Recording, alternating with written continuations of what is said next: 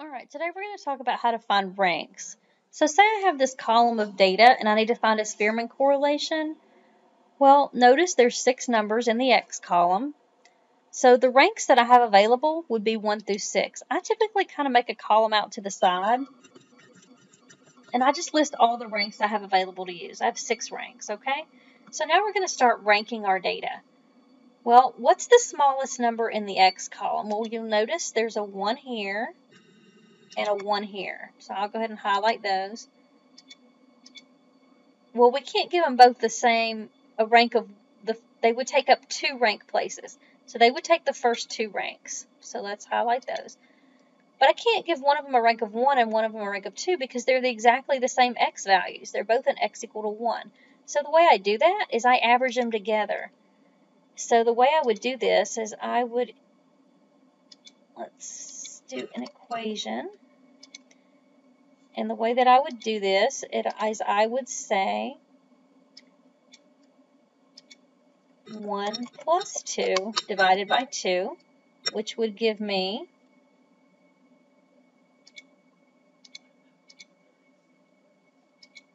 three over two, which would equal 1.5. Okay? So this is what I would do in order to find the x rank. So let's make all of these a little bit bigger so you can see what I'm doing here.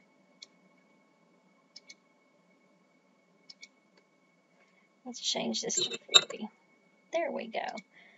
So the final rank for this one would be 1.5. Let's just make another rank column to put the final rank in. This one would also get a rank of 1.5 because basically you average the two ranks together. Alright, let's center everything up here. There we go.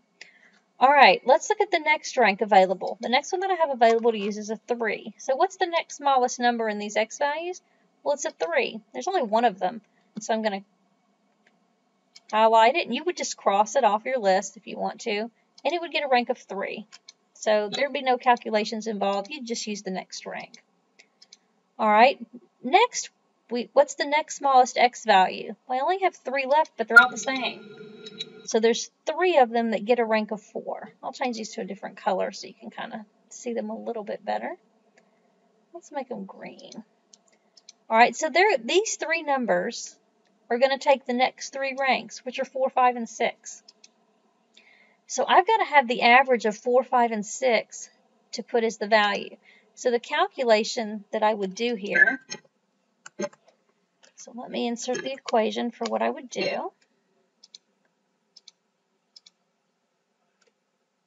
I would add them up. 4 plus 5 plus 6. And I would divide by three numbers because I'm taking the average of three numbers, just like you would take the average of three grades.